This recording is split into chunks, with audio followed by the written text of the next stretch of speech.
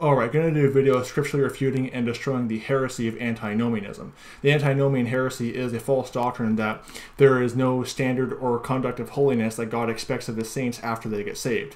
And that, you know, you should live holy, but, you know, you can just do whatever you want and, you know, there's, no, there's going to be no chastening of God, there's going to be no conviction from the Holy Spirit.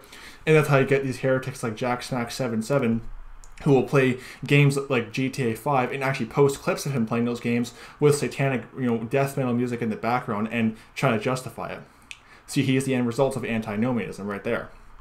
This lawless life you got to live. You know that you basically you you basically if you do preach holiness, then you're basically just backloading works essentially. That's what it comes down to.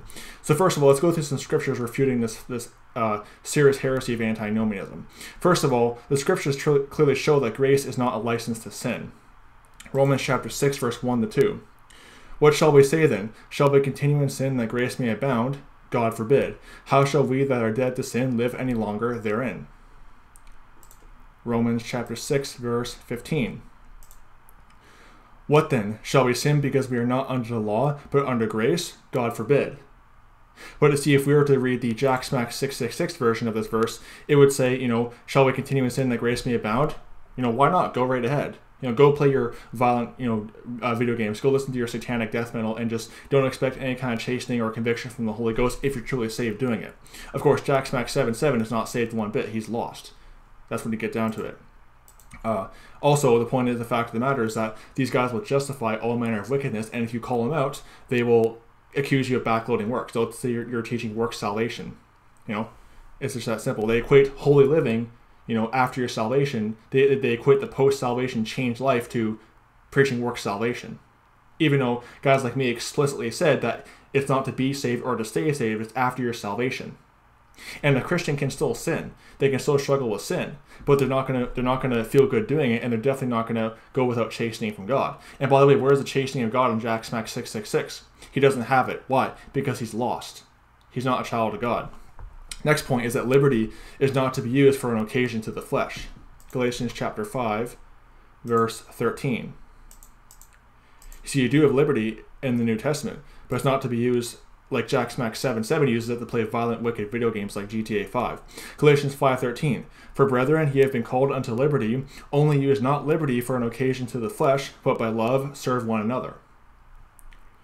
But again, if we were to read the Jack Smack 666 version of that verse, it would say, you know, yes, actually do use your liberty for an occasion to the flesh and accuse anybody who disagrees with you of work salvation. Next point is that the antinomians twist and pervert the grace of God into lasciviousness. Jude chapter 1 verse 4. This is just a quick video listing off a few scriptures on the matter. I could I could do a whole in-depth video refuting this heresy, but these are just a quick few verses off the top of my head that uh, destroy this heresy. Jude chapter 1 verse 4. For there are certain men crept in unawares, who were before of old ordained to this condemnation, ungodly men, turning the grace of our God into lasciviousness, and denying the only Lord God and our Lord Jesus Christ. And 2 Peter chapter 2, verse 18 down to verse 19. 2 Peter 2, verse 18 to 19. For when they speak great swelling words of vanity, they allure through the lust of the flesh, through much wantonness, those that were clean escape from them who live in error. And while they promise them liberty, they themselves are the servants of corruption. For of whom a man is overcome, of the same is he brought in bondage. You know, they promise you liberty, but then they're the servants of corruption.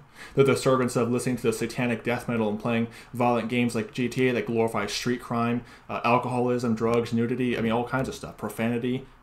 Yeah. How do I know that? Because I used to play GTA 5. I used to know what like I know what that game is like. I played it when I was lost.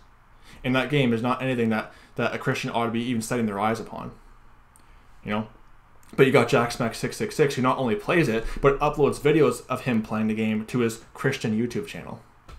That's the fruit of antinomianism right there. And not just that, but blast satanic death metal music in the background of those videos.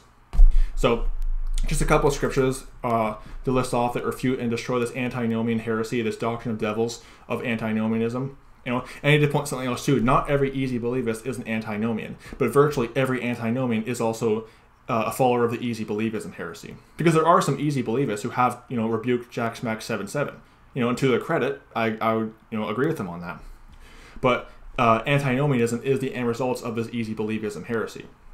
So anyway, don't be deceived by anti- antinomianism. May the grace of our Lord Jesus Christ be with all the brethren.